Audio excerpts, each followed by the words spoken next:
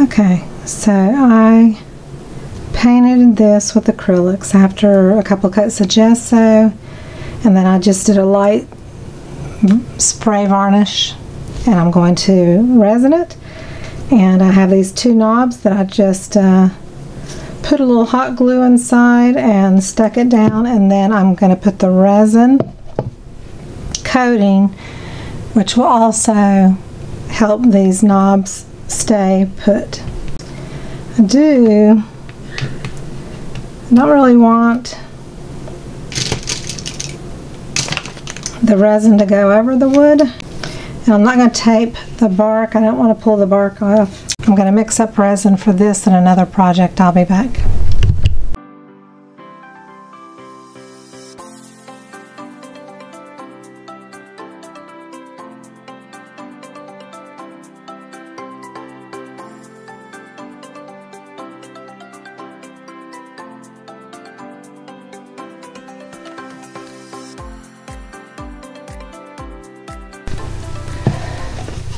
Okay, so here is the sunflower piece and um,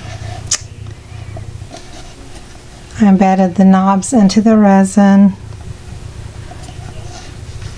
I had some, a little bit of dripping on the sides so I may put a coat of varnish just to make it all look even but I'm not going to resin it.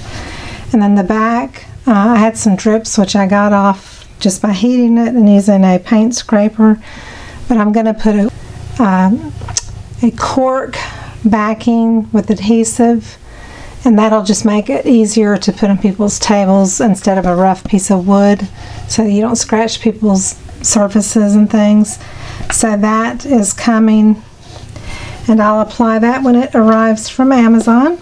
I'm pretty pleased. I'm going to be doing more of these for maybe an upcoming auction. So I hope you enjoyed watching this. I hope you learned something and I'll see you on the next video. Thank you so much. Bye-bye.